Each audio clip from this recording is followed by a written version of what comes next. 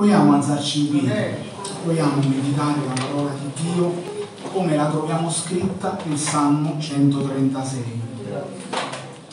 Un salmo da voi sicuramente ben conosciuto, insieme ricorderemo solo degli aspetti della parola di Dio, vogliamo prestare attenzione, concentrati sulla parola che il Signore ha preparato per ognuno di noi.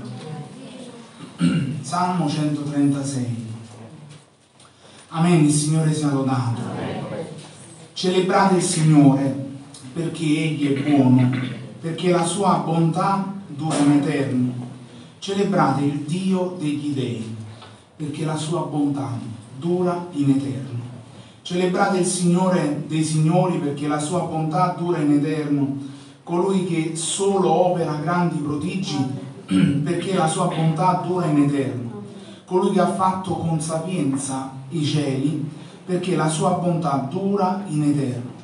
Colui che ha steso la terra sopra le acque, perché la sua bontà dura in eterno. Colui che ha fatto i grandi luminari, perché la sua bontà dura in eterno. Il sole per regnare sul giorno, perché la sua bontà dura in eterno. E la luna e le stelle per regnare sulla notte, perché la sua bontà dura in eterno. Colui che percosse gli egiziani nei loro primogeniti, perché la sua bontà dura in eterno, e fece uscire Israele di mezzo a loro, perché la sua bontà dura in eterno, con mano potente e con braccio teso, perché la sua bontà dura in eterno. Colui che divise il Mar Rosso in due parti, perché la sua bontà dura in eterno. E fece passare Israele in mezzo ad esso perché la sua bontà dura in eterno, e travolse il faraone e il suo esercito nel Mar Rosso, perché la sua bontà dura in eterno. Colui che guidò il suo popolo attraverso il deserto, perché la sua bontà dura in eterno. Colui che percosse re grandi, perché la sua bontà dura in eterno, e uccise re potenti, perché la sua bontà dura in eterno. Sicon, re degli Amorei, perché la sua bontà dura in eterno. E Og re di Basan perché la sua bontà dura in eterno. E diede il loro paese in eredità perché la sua bontà dura in eterno. In eredità Israele suo servo perché la sua bontà dura in eterno. Colui che nella nostra umiliazione si ricordò di noi perché la sua bontà dura in eterno e ci ha liberati dai nostri nemici perché la sua bontà dura in eterno colui che dà cibo a ogni creatura, perché la sua bontà dura in eterno. Celebrate il Dio del cielo, perché la sua bontà dura in eterno. Amen. Accomodatevi, gloria a Dio. 26 volte, penso che avete ascoltato 26 volte uno stesso verso ripetersi perché la sua bontà dura in eterno. Vedete, questa mattina insieme non andremo solo ad indagare eh, sul testo, usciremo un attimo dal testo senza tuttavia uscire dal contesto di questo salmo meraviglioso, ma dobbiamo capire perché lo scrittore ha scritto per ben 26 volte la sua bontà dura in eterno. Quante volte abbiamo considerato questo salmo e abbiamo parlato della bontà e della misericordia di Dio. Ora, sapete, questo salmo con molta probabilità è stato redatto da Salomone in un periodo particolare della vita del popolo di Israele, in occasione proprio della dedicazione del Tempio di Gerusalemme, una struttura straordinaria un'architettura, fratelli, magnifica, un'imponenza unica, tanto da essere il vanto del popolo di Israele e da essere annoverata tra quelle che erano le meraviglie del mondo. Per presto Israele si abituò a vedere la struttura del Tempio e la sua bellezza senza tuttavia coglierne il significato più profondo, la presenza di Dio all'interno di quel Tempio. Il Tempio senza il Signore diventava semplicemente vuoto, diventava semplicemente mura, mattoni, senza nessun tipo di senso. Ora, quando Israele quindi abbandonava il Signore, abbandonò il Signore, quel Tempio era totalmente vuoto. C'è una singolare frase ripetuta, abbiamo detto prima, ben 26 volte, e magari il re Salomone, vedete, attraverso questo cantico, attraverso questo salmo, ripetendo sempre questo concetto, desiderava che questo concetto fosse ben impresso nel popolo di Israele. Quando ascoltiamo anche una musica, e gloria a Dio per la musica cristiana che ascoltiamo, Amen. Amen. Gloria a Dio per la musica cristiana che ascoltiamo, quando ascoltiamo spesso viene ripetuto un concetto. Perché? Perché quel concetto deve essere impresso nel cuore. Era un po' lo stesso schema utilizzato dal salmista. Il concetto deve rimanere. Vedete, il salmista non esalta la struttura, ma la benignità del Signore che dura in eterno. Non esalta l'architettura, ma la presenza di Dio che è essenziale, veritiera, deve essere concreta all'interno del Tempio e deve invadere tutta quella struttura. E gloria a Dio per questo, fratelli e sorelle una misericordia continua, 26 volte, una misericordia, una benignità continua, costante. Ma il motivo per cui Salomone dovette ripeterlo in più di un'occasione è perché dovevano ascoltare il senso e il concetto più unico e più importante, quella benignità, quell'attributo di Dio, quell'essenza doveva essere presente. La sua misericordia, la sua misericordia e la sua benignità è stata per il popolo di Israele di grande efficacia. Per la sua benignità il popolo di Israele è uscito dal paese d'Egitto. Per la sua benignità il popolo di Israele è riuscito ad essere sfamato di acqua, di cibo dall'alto, ad essere provveduto dal Signore. Per la sua benignità il popolo di Israele ha vinto i nemici. Per la sua benignità il popolo di Israele ha visto le acque aperte, una strada, insomma, all'interno di queste acque è per la sua benignità che il popolo di Israele ha realizzato le promesse del Signore, per la sua benignità il popolo di Israele ha visto abbattuti i nemici davanti a lui. Fratelli e sorelle, per la sua benignità, per l'essenza di Dio in noi, che noi vediamo le benedizioni del Signore nella nostra vita, come il popolo di Israele. Per la sua misericordia il Tempio fu costruito per accogliere la presenza di Dio ed è per la sua misericordia che ancora oggi Dio costruisce dei templi per accogliere la sua presenza.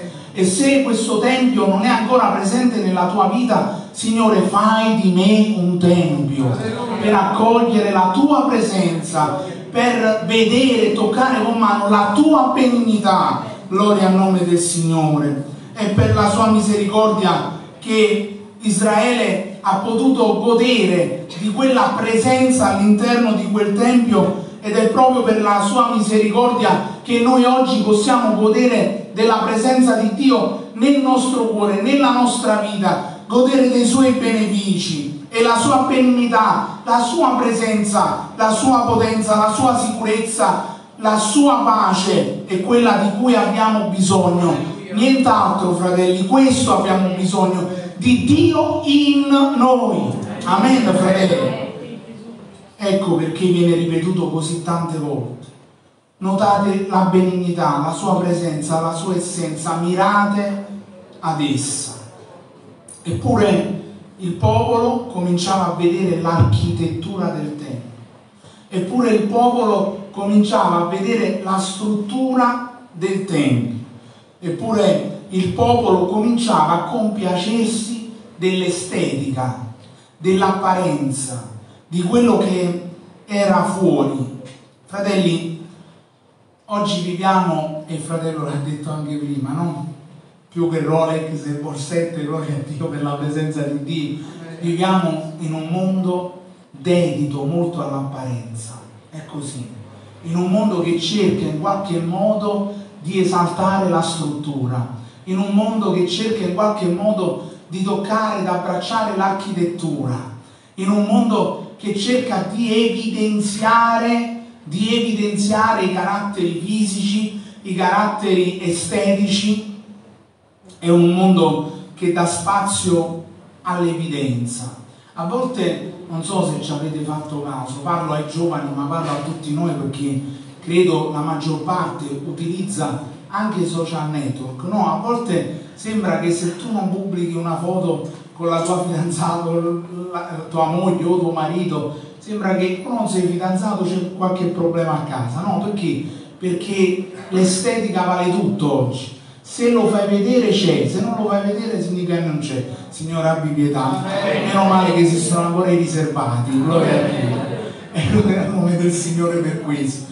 Oggi è così, fratelli, ciò che si vede è ciò che si è. E sembra che ciò che non si vede non si ha, non si è. Signore, facci riacquistare la capacità di vedere oltre il visibile. La Chiesa ha sempre avuto questa capacità e oggi ancora, fratelli, molti lo hanno perso. Signore, vogliamo riacquistare questa capacità di vedere oltre il visibile e di andare a vedere il cuore, i sentimenti, la testimonianza vivente e concreta, non l'apparenza. Gloria al nome del Signore. Fratelli cari, il materialismo sta dilagando nell'umanità. Oggi tutto quello che risulta essere insomma importante è quello che è materiale. Gli uomini e le donne vivono solo ed unicamente di struttura, di architettura. Sembra esserci una perdita dilagante dei valori, di quei valori antichi, di quei valori di cui si sono nutriti i nostri genitori, i nostri nonni, di cui si sono nutriti coloro che sono venuti prima di noi e hanno fondato e hanno veramente dato la propria vita per Cristo e hanno veramente con l'umiltà, con la semplicità, lavorando dietro le quinte, costruite le basi. Gloria al nome del Signore, delle chiese, delle, dei templi, gloria al nome di Dio. C'è una perdita delle virtù, c'è una perdita delle qualità. Eppure notate, lo Spirito Santo, certamente riferendosi alle donne, ma riferendosi anche a tutti quanti, spiega all'interno di un verso della parola di Dio in primo Pietro ciò che dovremmo fare veramente. Il vostro ornamento non sia quello esteriore, che consiste nell'intrecciarsi i capelli, mettersi addosso gioielli d'oro, indossare belle vesti, ma notate, ma quello che è intimo e nascosto nel cuore, la purezza incorruttibile di uno spirito dolce e pacifico che agli occhi di Dio è di grande valore Così si ornavano una volta le sante donne che speravano in Dio. Ma questo vale per tutti quanti noi. La ricerca di quello spirito, la ricerca di quella presenza, la ricerca, fratelli e sorelle, di quella purezza incorruttibile. Gloria al nome del Signore valori e qualità di un cuore approvato davanti a Dio è quello che dobbiamo ricercare oltre la struttura, oltre il Tempio di Gerusalemme, deve esserci la presenza, l'essenza di Dio, la benignità del Signore. E i social cosa fanno? Propongono questa idea dell'evidenza come il tutto. Oggi, soprattutto per i ragazzi, e ne vedo parecchi in mezzo a noi, grazie a Dio, oggi se ci sono tanti like vali qualcosa, se non hai tanti like non vali niente. L'apparenza, l'apparenza, la struttura. Oggi, insomma, se non hai tante condivisioni, sei diverso dagli altri, sei appartato, sei escluso, sei escluso dalla società. Vedete la Chiesa in che mondo sta vivendo oggi? Eppure la Chiesa è diversa. Noi non dobbiamo essere come il mondo, guardare l'architettura, noi siamo di coloro che guardano il cuore. E il mio cuore deve essere pieno del Signore, non la mia estetica, ma il mio cuore deve essere pieno di Dio. Altri ci sono tanti che vivono di apparenza, ci sono tanti che vivono di struttura esterna e poi li vai a guardare dentro e sono morti, freddi. E sono vacillanti, altri invece lavorano dietro le quinte, in silenzio, nella semplicità, nell'umiltà e fanno un lavoro immane, gloria al nome del Signore. La Chiesa ha perso la sensibilità e quella visione che Dio desidera guardare oltre il visibile, ciò che fratelli e sorelle, include la presenza di Dio in un cuore, ciò che viene approvato dal Signore. Se tu desideri quella presenza nel tuo cuore, sei approvato da Dio. Questo il Signore sta dicendo a te. Guarda la sostanza, guarda a farti riempire il cuore dalla potenza di Dio, guarda a farti riempire la tua anima dalla presenza di Dio, da quel manto meraviglioso visto da Isaia all'interno di quella chiamata che invadeva tutto il Tempio e che riempiva di gioia e di sicurezza anche quell'uomo in quella sua chiamata. Signore, abbi pietà, abbi pietà di noi, aiutaci a non vedere l'architettura, aiutaci a riconoscere che la tua presenza deve essere tutto per noi.